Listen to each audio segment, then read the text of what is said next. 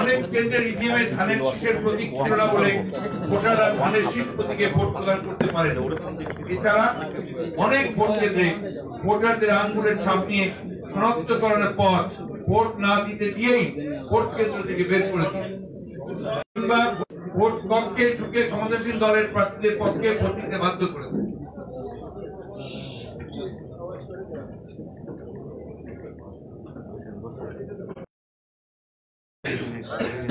অনেক কেন্দ্রের ইভিএমে ধানের শীষের প্রতীক ছিল না বলে আমি আবার পড়ছি।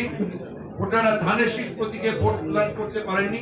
এছাড়া অনেক ভোট কেন্দ্রে ভোটারদের আঙুলের ছাপ নিয়ে শনাক্তকরণের পর ভোট না দিতে দিয়েই ভোট কেন্দ্র থেকে বের করে দিয়েছে। এবং ভোটারের সাথে ভোট কক্ষে ঢুকে ক্ষমতাসীন দলের প্রার্থীদের পক্ষে ভোট দিতে বাধ্য করেছে। নির্বাচনী কর্মকর্তা, পুলিশ, কিংবা ম্যাজিস্ট্রেট কোনো বাধা হয়নি। অনেক স্থানে গণমাধ্যমের সাংবাদিক কর্মীদের ভোট কেন্দ্রের প্রবেশে বাধা দেওয়া হয়েছে অনিয়মের ছবি তুলতে বাধা দেওয়া হয়েছে মোবাইল ও ক্যামেরায় তোলা অনিয়মের ছবি ডিলিট করে দেওয়া হয়েছে এবং সাংবাদিকদেরকে নির্বাচনের আগে আওয়ামী লীগের নিয়ন্ত্রণ দখলে রাখার জন্য নির্দেশ দিয়েছিল। এই এই নির্দেশ মোতাবেক আওয়ামী লীগের নেতা কর্মী সন্ত্রাসীরা ভোট কেন্দ্র ভোট কেন্দ্রের আশেপাশে নিয়ন্ত্রণ নিয়ে সাধারণ ভোটারদের মধ্যে ভীতির সঞ্চার যে সকল ভোটারগণ আওয়ামী লীগকে ভোট দেবেন না বলে মনে করেছেন তাদেরকে ভোট কেন্দ্রে ঢুকতে বাধা দেওয়া হয়েছে। এছাড়াও ঢাকা উত্তর ও দক্ষিণে মেয়র প্রার্থী তাদের প্রধান নির্বাচনী এজেন্টগণ শত শত অনিয়মের অভিযোগ রিটার্নিং অফিসার কার্যালয়ে নির্বাচন কমিশনে প্রেরণ সে সকল অফিসার বা নির্বাচন কমিশন কোনো পদক্ষেপ গ্রহণ করেন। আমাদের কাছে অসংখ্য অভিযোগ তালিকা রয়েছে, সেগুলো আমরা আপনারা পেয়েছেন। এখনই আমি আপনার সামনে এটা আমাদের কাছে প্রিন্ট আছে, যে প্রিন্টের কপি আমরা আপনাদেরকে সরবরাহ করব। আর কিছুক্ষণ আগে যে ঘটনাটা ঘটেছে, সেটা জানা দরকার এটা বলেছি। এটা বলেছি যে আপনার এখন তো টেকনিশিয়ান সেটা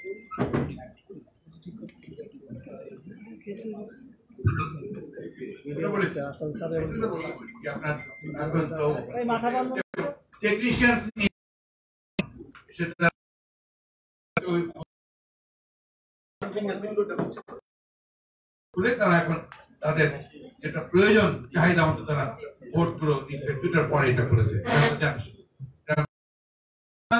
এই পরিস্থিতিটা এছাড়া আপনারা জানেন যে সম্পূর্ণ বিধি লঙ্ঘন করে সারোয়ারদি উদ্যানে তারা সভা করেছে, যেটা ইলেকশন কমিশন নিজে বলেছে যে আমরা তাদেরকে কোনো অনুমতি দেইনি। কিন্তু তারা সভা করেছে সেখানে উপস্থিত ছিল এবং এমপি মন্ত্রীরা সেখানে উপস্থিত থেকে জন্য ভোট চেয়েছে। আপনার বহির্ভূত নির্বাচনী আইনে এবং আমরা আগেও বলেছি আপনাদেরকে যে বাংলাদেশ থেকে বহিরাগত তারাই নিয়ে এসছে এবং নির্বাচন কেন্দ্রের সামনে যারা দাঁড়িয়ে আছে এরা বেশিরভাগই হচ্ছে বহিরাগত আমরা পুরো জিনিসটা আপনাদের সামনে খুব সংক্ষেপে তুলে ধরলাম আমাদের পুরো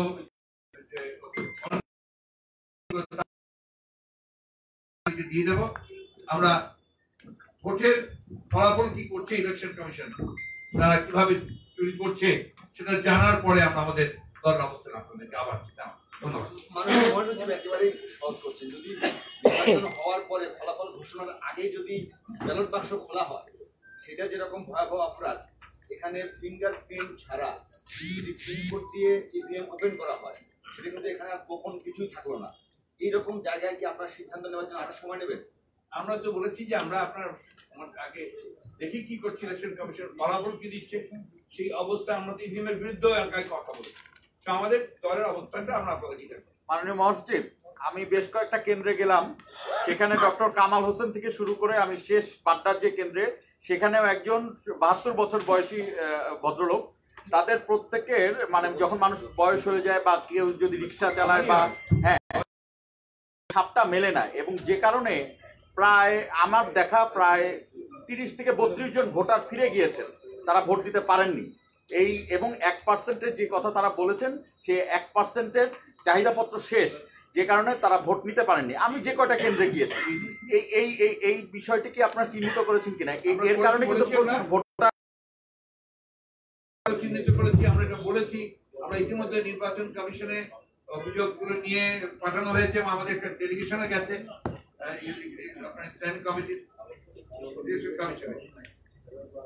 তাহলে ইভিএম প্রক্রিয়ার এই জিনিসটা আগে হলো না কেন এই ইভিএম আপনারা। ইভিএম প্রক্রিয়ার এই যে আহ, এত বড় একটা দোষ এই দোষটা আগে বের হলো না কেন এই প্রক্রিয়ায় কেন গেল যে মানুষ তো ভোট দিতে গিয়ে ফিরে পাচ্ছে